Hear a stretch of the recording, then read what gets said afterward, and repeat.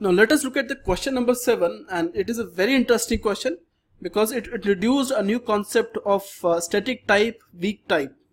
Okay, so first of all let us read out the question and see the solutions related to this and the explanation behind the solutions of this question. Number 1.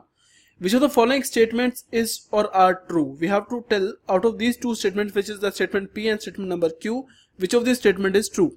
Statement number P is saying the C programming language has a weak type system with static typing. We, we should know for this what is the concept of weak type system and what is static typing. And option number two is saying Java programming language has a strong type system, strong type system with static typing, with static typing. So first of all, before solving this, let me explain you what is a weak type, type system and what is a strong type system. See for this you understand what is a static typing. Number one, what is a static typing versus what is a dynamic typing. Dynamic typing. And second is what is a weak typing versus what is strong typing strong typing because if you understand the difference between these statements then you can easily get the clear answer to this question so what is static or dynamic typing? It is used is about when the type information is acquired either at the compile time or runtime. And when they are saying the type information, that means the type of a variable. And strong typing means is about how strictly types are distinguished, whether the language tries to do an implicit conversion from a string to number or whether it is explicit conversion. I'll give you, I'll explain you with a very clear example with this just bear with me. Now when I'm saying static and dynamic static typing means types are checked at the compile time. For example if I say integer a in C language if I say integer a now here the type of a will be checked at the compile time and dynamic typing means the types are checked at the runtime. It also helps when you are converting the objects. And when I'm saying strong uh, typing. It means no implicit conversion and weak typing means implicit conversion. Let me explain you with an example clear example. Now C is a weakly typed because a programmer is allowed to cast the types. For example I can add a pointer to a character if I just tell C they both are integers. Let us say here we have a main function. We created a C character and it is storing a which is stored as as an ASCII value here and even this character a is stored as an integer number which is an ASCII value. And ASCII equivalent for cap small a is 97 and we know the ASCII equivalent for capital A is 65 so even if this is a character this character a is stored as an integer number. If I take a pointer p p is a pointer. Now pointers are storing the addresses as an integer format. Now I can easily add this character c uh, which is a I can convert this small a uh, to integer and I can also add this pointer and both of them are both both of them are integer format because here you can see when I'm when I did integer c that means I'm type casting this to integer type. I'm changing the address which is stored uh, sorry I'm changing the ASCII value which is stored in C in integer type and when I'm doing integer p that means I'm changing the address which is stored in p in an integer type. Therefore I can even add a character pointer uh, a character and a pointer because both of them are typecast to integer. So we can say C is weakly typed. Okay because programmer is allowed to typecast because programmer is allowed to typecast. But when I'm saying Java now Java has static typecasting as well as which allows a programmer to and for example downcast the object. For example, if I say I have a floating point variable. Now in case of Java when I'm saying downcasting it means uh, in a double variable you can directly store the value of a floating point variable. In a floating point variable you can store the value of an integer variable. In an integer you can store the value of a short integer.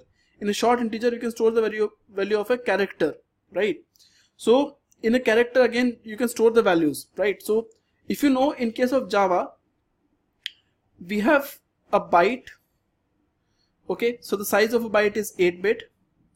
We have an integer. The size of an integer is 4 uh, bytes. Okay this is 1 byte and this is 4 byte.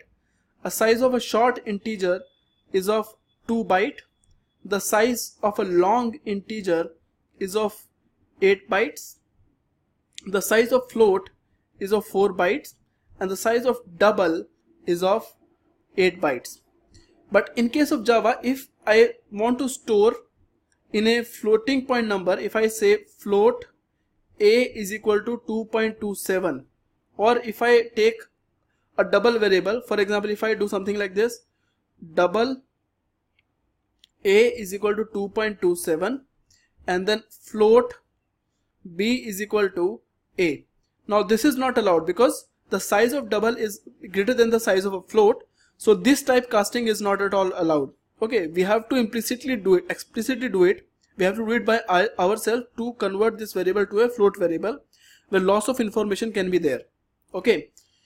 And here in this case this is also not allowed because by default this variable is a uh, this value is a double value if I could have written 2.27f that means this value is a floating point value. So this is also not allowed. Okay. But you can still change you can still typecast it like this. But when you do something like this that in a double variable in a double variable double a is equal to uh, 2.27f that means in a double variable you can store the value of a floating point variable. That means you can uh, downgrade. Okay. The same way in a double variable in a double variable you can store the value of a floating point variable. In a floating point variable you can store the value of an integer variable. In an integer variable you can store the value of a short integer variable. In a short integer variable you can store the value of a byte. Okay. So this is called downgrading. Okay. Now this java has static type casting as well as which allows the programmer to and fro the downcast the object. That means you can downcast it. Uh, i mean you can store a double variable to a floating point that means a bigger variable to a smaller variable that is downcasting as well as you can also store a, a bigger variable to a smaller variable by downcasting or you can sto store a smaller variable to a bigger variable that is upcasting. That is also allowed. So this makes the static type system not sound but java has a dynamic type checking for this reason. So this is important. Java has dynamic uh, type checking. Okay. And static type checking both the type checking java is having both the type checking which is dynamic type, uh, uh, type checking as well as static type checking. Okay. So that is why we consider java as a strongly typed and we consider c as a weakly typed. So come back to the same question again. Here saying c programming language has a weak type system. This is correct because we consider the C as a weak type system. It is having static typing. Okay, so as I explained you, static typing uh, typing means the types are checked at compile time. Okay, uh, I'll explain you this the same example with more details here. And when I'm saying the Java, programming language has strong type system, this is also correct. It is having strong type as well as it is also having weak type. It is having uh, sorry, it is having static typing, dynamic, as well as as well as static type static type okay let me explain the C language programming uh, in more details here with one more example so we say C is statically typed but weakly enforced it is weakly enforced so for example uh, the C and languages such as C, uh, Java, C++, etc. all require their types to be declared at compile time. This is what we call as statically typed that means you have to declare the type of variable at compile time for example if I say integer foo is equal to 5 so uh, this type of the variable will be checked at the compile time. Okay so we have to declare it in the compile time. But if you take the python program now in the python you don't even need to give the type of the variable. For example if i do f is equal to 50 so it will consider because we have given integer number so it will consider that this 50 is a uh, integer this f is an integer. But if you give f is equal to foo as a string so it will consider automatically that f is a string. Okay so if I do something like this f is equal to uh, f this means this f is a character. So these are three examples. If I write in uh, Python f is equal to 50 so automatically they will consider that f is an integer number. Okay we don't have to specify the type. If I do f is equal to foo like this the automatically they will consider that f is a string. If I consider f is equal to small f like this character this is a character. So they'll automatically consider that f is a character. Okay this is the same reason why we consider that C, Java and C++ as statically typed. Now in the same question they're saying the C programming language has weak type system that is correct and it is static types and that is statically typed and Java programming has a strong type system and it is a static type. Both of them are true. Okay. So this for question number 7 both option number uh, both statement P and Q are true. So answer to this question is option number 3. Correct. Now let us move on to the next question which is uh, question number 8. I hope that you understood the explanation of this question and if you did not understood just do one thing comment on this video and I will make a separate video to explain you what is a strong type and weak type system. I think I have to add this topic in my videos also video lectures set also. You can take the full subscription of my video lectures where, where I've explained everything in the programming languages in thorough detail in complete detail that will help you in your exam preparation. Okay so let us move on to the question number 8 here